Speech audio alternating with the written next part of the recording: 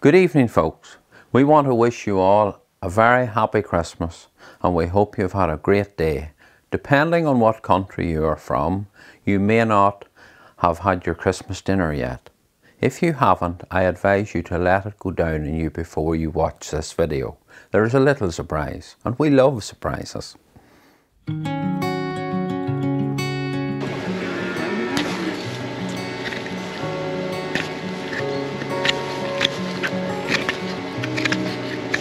This type of foot is a rare sight for us. Not too often do we ever see a foot so swelled and full of liquid.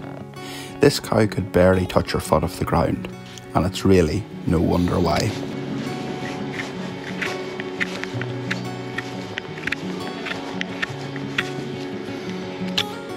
This is not exactly a straightforward trim. This cow has quite a lot going on.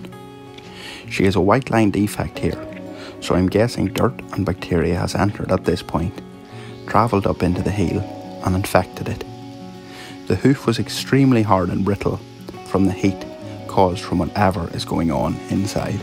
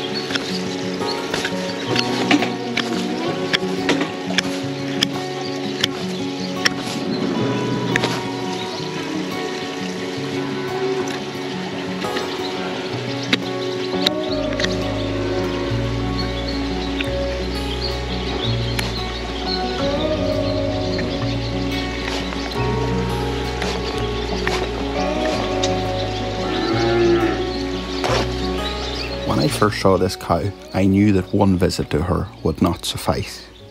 That is why I applied a wooden wedge block. It can wear, but the wedge aspect of it allows me to increase the heel height exactly where she needs the weight off. So with the block applied and the glue setting, I carefully assess the massive balloon and see where we can bring relief to this cow. Oh, that still makes me shiver even though I knew it was coming. What a massive pressure was built up in that heel.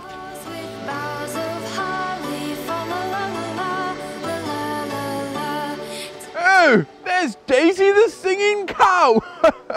Do you know what that means? That means we should like the video and hit the subscribe button. oh, Daisy. I gently squeeze the heel to make sure the pus is all out.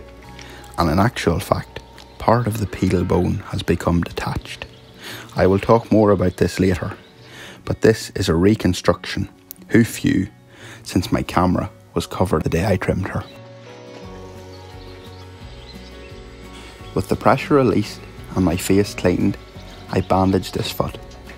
I can't trim away any of the skin at the heel, so it's a situation where we have to let her rest. I also advised the farmer to give her some pain relief, as she is still quite sore on this foot, as you would expect. We came back two weeks later to check this, and that day we put on another block on top of the wedge block and cleaned the wound.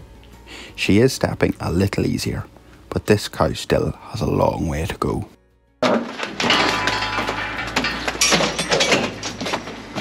And here we are back three weeks later. She has lost her block, but that heel is starting to look a little more normal. As you've seen in the first video, part of the pedal bone had come away. The pedal bone is the last bone in the foot and is suspended and held in place by ligaments. These ligaments had got damaged by the sheer pressure built up in this foot. It's not a fantastic sight, but cows can recover from this, and that's exactly what we're hoping for cow 2419. To aid her with that recovery, we apply a smart block and trim out the lesion. And as I'm doing that, I'm feeling for the detached pieces of horn before it gets wrapped up for her comfort.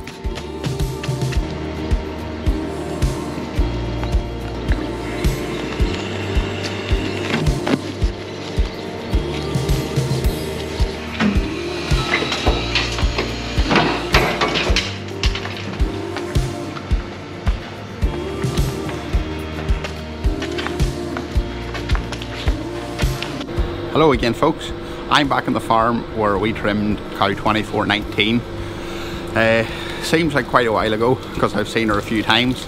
Not every cow is that straightforward that you just see her once or twice and that's her cured. So this cow has took a little bit of extra TLC but I think we're nearly there. So let's get her into the crush for her recheck.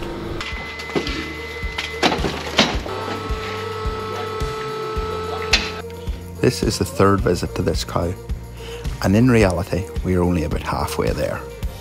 But we will persevere and I have every confidence we will get this cow across the line. As you've seen in other trims, block failure can impede on recovery and that's exactly what we have here. This cow did not need this to happen, but we must keep positive. We did the same on this day as we did the last day. We put on a smart block, re-bandaged her and wished her all the best until the next visit.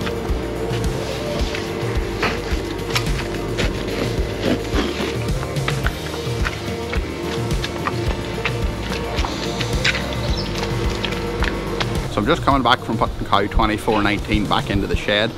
Uh, that's coming on nicely.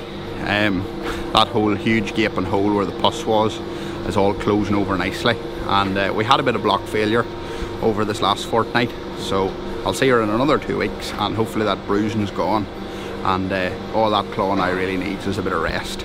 So we have a few cows trimmed here this morning. The rain has decided to stay around with us um, but it's now time to get 2419 into the crush. She's walking really nicely so let's see.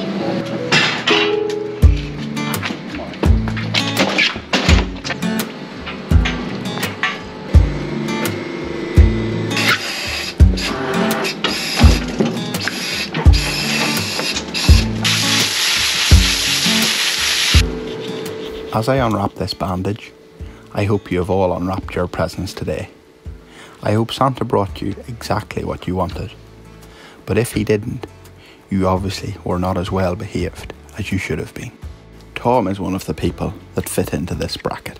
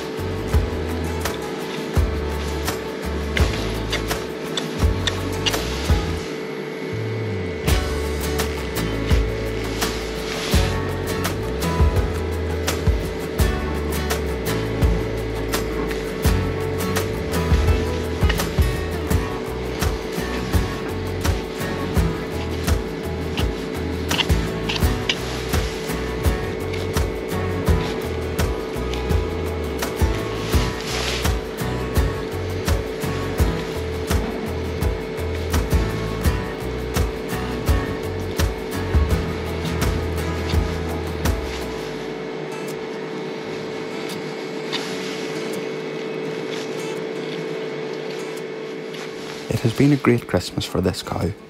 I have lost count of how many times we have rechecked her, but it's all worthwhile when we see how well she is walking today compared to the very first day. That is what makes this job the most satisfying job in the world, when we can really see the difference we have made. That's our last trim of 2021, but we will see her again early next year, when we will hopefully be removing the block for good. Hello again folks, we hope you enjoyed that trim. What a change there was in how that cow could walk. We really hope you're enjoying the series of the 12 Hooves of Christmas as much as we enjoyed making it. We want to thank all our viewers and subscribers to the channel. We are blown away by the amount of different countries tuning in, so a shout out to you all. Enjoy the rest of your Christmas day and don't eat too much.